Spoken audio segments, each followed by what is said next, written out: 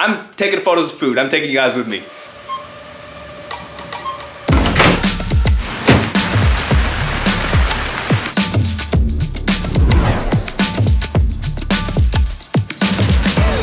Today we're going to Smoke Barbecue and Bar. It's near Rogers Place Arena in downtown Edmonton, and it's probably the only place in Edmonton where you can find meats done just like this. I was there for their grand opening party. I did their first menu shoot and 99% of the photos on their social media.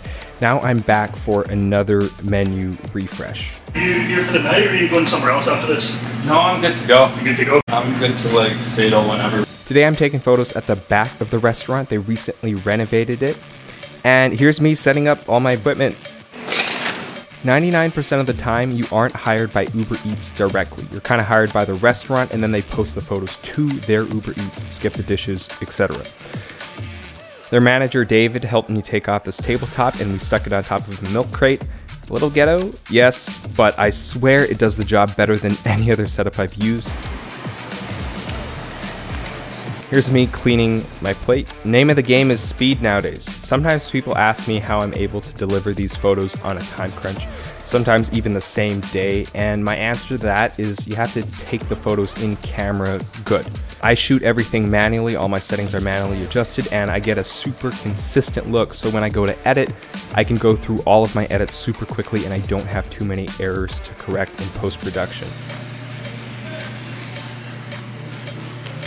Shooting food is probably one of the coolest photography gigs you could ever get, because all that food, you usually get to taste test it after.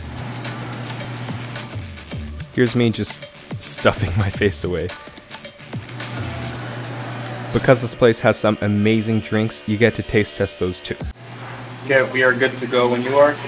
This drink is really cool, even for a guy who rarely drinks. They sprinkle cinnamon over this orange that's got vodka on it, and this was actually probably the most challenging image to take at a tripod and I combined 8 different shots in Photoshop. I like shooting at these places that aren't international chains because you get to be way more creative with your photos. You get to create the style of photos that's going to become their brand. Just made it back. I'm like drenched from all that rain.